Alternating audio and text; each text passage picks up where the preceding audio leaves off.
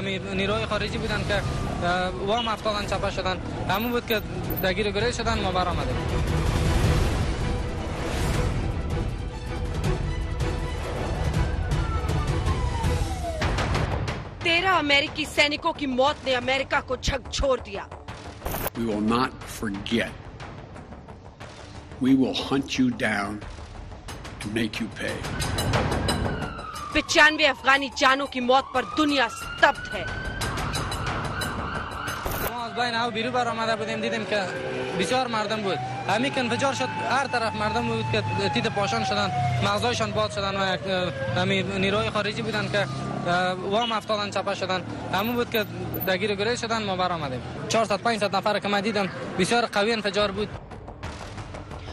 जिसका डर था वही हुआ काबुल एयरपोर्ट जहां जान बचाने की होड़ मची थी आईसिस के, आतंकियों ने उसी काबुल एयरपोर्ट को धमाकों से दहला दिया देखती रह गई दुनिया देखती रह गई अमेरिकी सेना अब अमेरिकी राष्ट्रपति कह रहे हैं कि भूलेंगे नहीं माफ़ नहीं करेंगे बदला लेंगे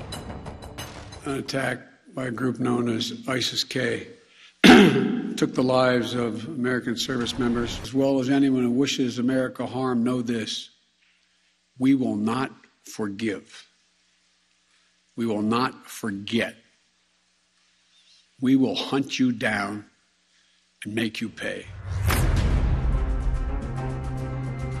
आज लेकिन ये सवाल है कि अमेरिका बदला लेगा किससे और कैसे तालिबान तो अमेरिकी राष्ट्रपति की नज़रों में बेगुनाह है जो बाइडेन ने साफ़ कहा है कि तालिबान के खिलाफ कोई सबूत नहीं तालिबान के लोग अच्छे नहीं लेकिन वो एयरपोर्ट खुला रखने की भरसक कोशिश कर रहे हैं वहीं अफ़गानिस्तान के कार्यवाहक राष्ट्रपति अमरुल्ला साले साफ़ कह रहे हैं कि ये धमाके आईसिस और तालिबान की मिली भगत का अंजाम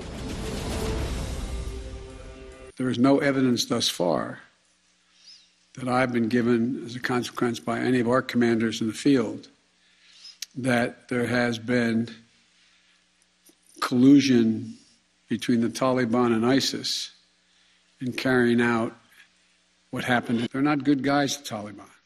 We're not suggesting that at all. But they have keen interest. As many of you have been reporting, they very much would like to figure out how to keep the airport open. They don't have the capacity to do it.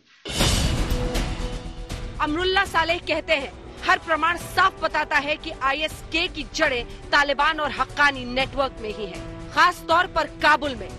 Taliban जैसे ISIS से संबंध नकार रहा है, वो ठीक उसी तरह है, जैसे पाकिस्तान का क्वेटा शूरा से इनकार करना। तालिबान ने अपने मास्टर, यानी पाकिस्तान से बहुत अच्छा सीखा है।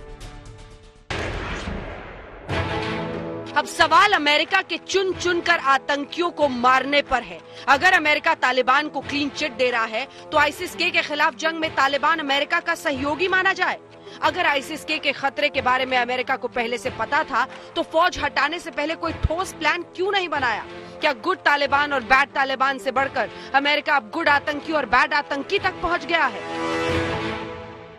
यहाँ पर फैमिलीज़ अपने डेड मेंबर और इंजोर्ड मेंबर के तलाश पर है, जो किसी को मिलता है, किसी को नहीं वहाँ पर एक साइन पड़ा हुआ है जो इंजोर्ड पर्सन के लिए है और डेड पर्सन को जस्ट एक हॉस्पिटल एम्प्लॉय जो अपने फ़ोन के ज़रिए उसके फ़ोटो निकाल कर देख दिखाता है कि किसके फैमिली मेंबर है।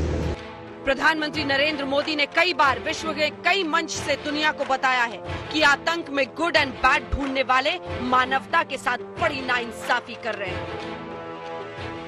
आतंकवाद की स्टेट स्पॉन्सरशिप सबसे बड़ा खतरा बना हुआ है। यह बहुत बड़ा दुर्भाग्य है कि लोग अभी भी गुड टेररिस्ट और बैड टेररिस्ट का भेद करने की गलती कर रहे हैं। इस गुड और बैड आतंक की आड़ में छिपने वाले देशों के लिए आज बड़ी मुसीबत है। अब अपने सैनिकों की सुरक्षा के लिए भी अमेरिका तालिबान पर निर्भर है।